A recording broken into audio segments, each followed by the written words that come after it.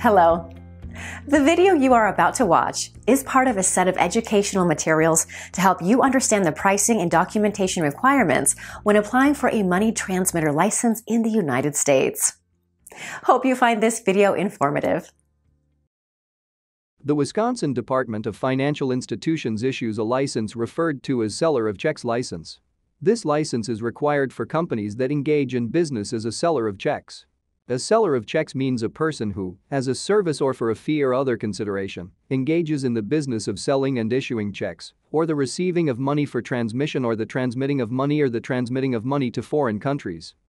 You can view their official website from this link here. To acquire a seller of checks license in Wisconsin, you need a minimum tangible net worth of $100,000.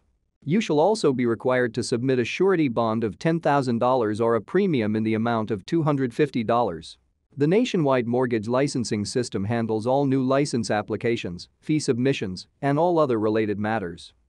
In order to obtain this license, you will first need to submit an application with the NMLS along with the following documents such as audited financial statements, business plan, surety bonds, etc. You can pause this video to read through the entire list of required documents presented here. The breakdown of the government-related fees and requirements to obtain a money transmitter license in Wisconsin are as follows. In addition to the government-related fees and state expenses, you will need a host or suite of services in order to complete your application. Typically these documents are prepared once and are then submitted to each state where you would be applying for licensing. You do not have to pay these costs again and again for each state. Such services include compilation of your risk assessment manual, your flow of funds, transactions set, internal operation manual, authoring of a business plan, custody of funds, and are continued here.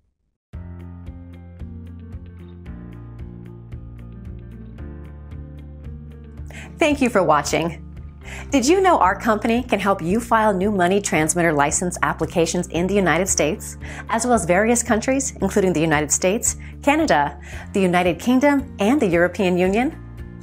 Not only do we help companies apply for new licenses, but we also help companies acquire existing licenses, become agents of an existing license holder, or get license sponsorships. Essentially, rent a license. Please contact us using the link in the description below, and we would be happy to guide you. Speak soon.